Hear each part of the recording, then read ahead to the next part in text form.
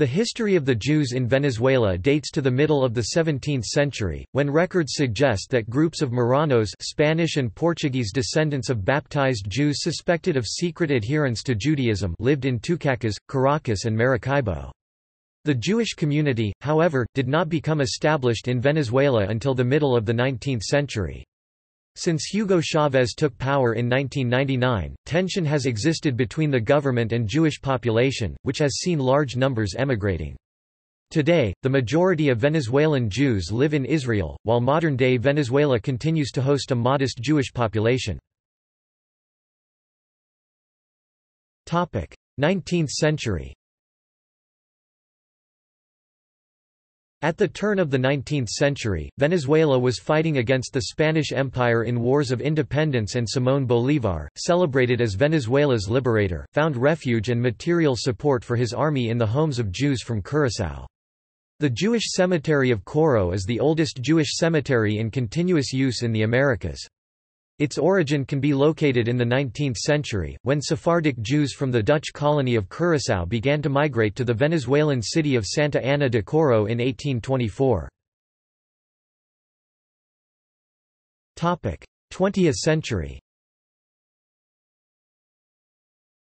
In 1907, the Israelite Beneficial Society, which became the Israelite Association of Venezuela in 1919, was created as an organization to bring the Jews who were scattered throughout the country together. Jewish prayer and holiday services took place in small houses in Caracas and towns like Los Teques and La Guaira. By 1917, the number of Jewish citizens rose to 475, and to 882 in 1926. In the 1920s and 1930s, the Jewish community began to develop with the arrival of North African and Eastern European Jews. Jewish immigration from Eastern and Central Europe increased after 1934 but, by then, Venezuela had imposed specific restrictions on Jewish immigration, which remained in effect until after the 1950s. In 1939 the steamboats Königstein and Caribia left Nazi Germany and docked in Venezuela. One Jewish refugee commented in the Venezuelan newspaper, La Esfera, "...imagine our joy at being free and far from a land in which everything threatened us with death. It is such a holy occurrence given that we were expelled from Germany and you have embraced us."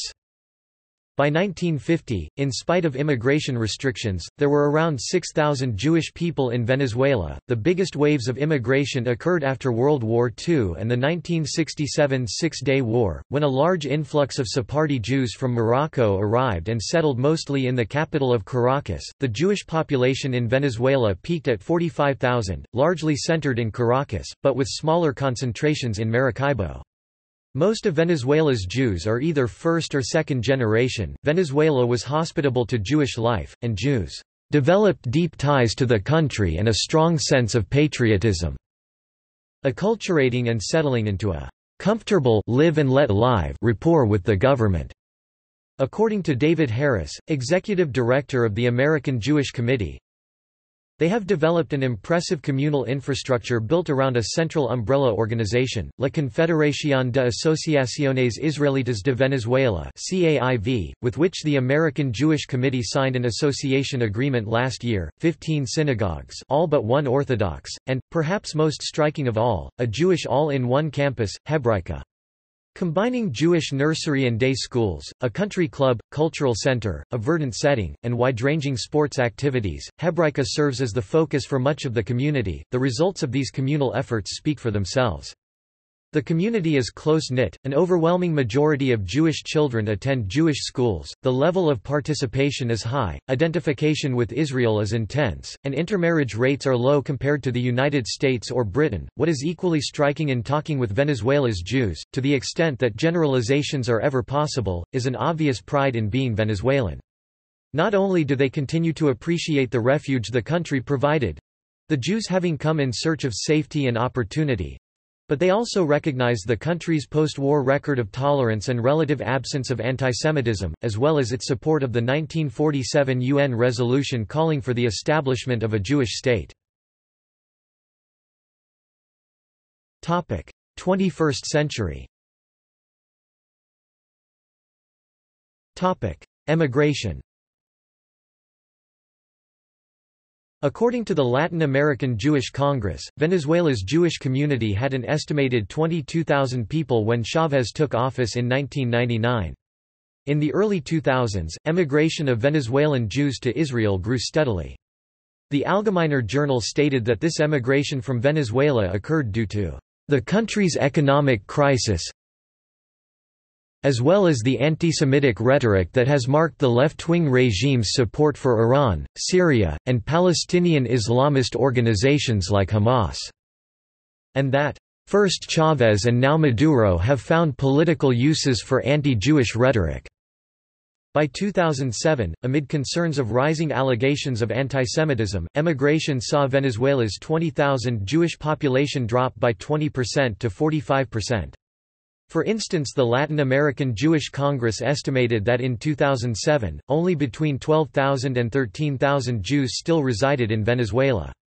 By November 2010, more than 50% of Jewish Venezuelans had left the country since Chavez came to power, with some of those remaining behind complaining of official antisemitism.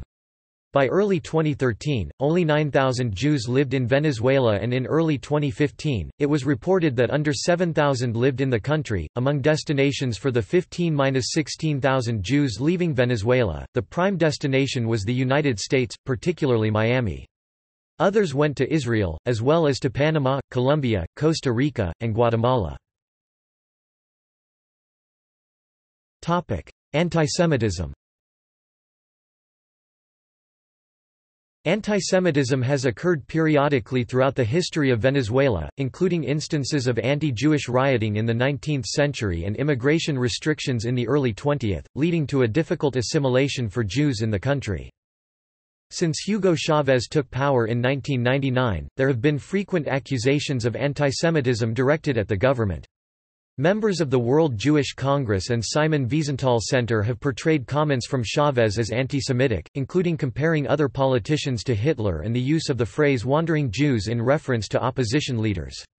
The Venezuelan Confederation of Israelite Associations also raised concerns that Chavez's rhetoric, which had once clearly differentiated criticism of Israel from that of the Venezuelan Jewish community, had merged his anti-Zionist views with anti-Semitic ones beginning in 2004, while the Jewish Telegraphic Agency stated that Chavez's criticism of Israeli military actions during the 2006 Lebanon War was fanning the flames of antisemitism. Chavez portrayed such accusations as propaganda. Public instances of antisemitism have occurred as well. An armed raid carried out by security forces in November on the Jewish elementary and high school in Caracas was described by the Stephen Roth Institute as perhaps the most serious incident ever to have taken place in the history of the Jewish community. The institute also stated that pro-Chavez supporters were responsible for frequent anti-Semitic incidents such as desecrations of and attacks on synagogues and graffitied slogans such as, "'Jews go home' Despite this, the United States Department of State stated in its 2005 report on international religious freedom that Venezuela is a historically open society without significant antisemitism, while noting that the government and its supporters occasionally demonstrated possible antisemitism. The Jewish Telegraphic Agency has said that antisemitic behavior was not typical for Venezuela. Topic: See also Polish Venezuelan, mainly about Polish Jews immigrating to Venezuela List of Venezuelan Jews Israel–Venezuela relations References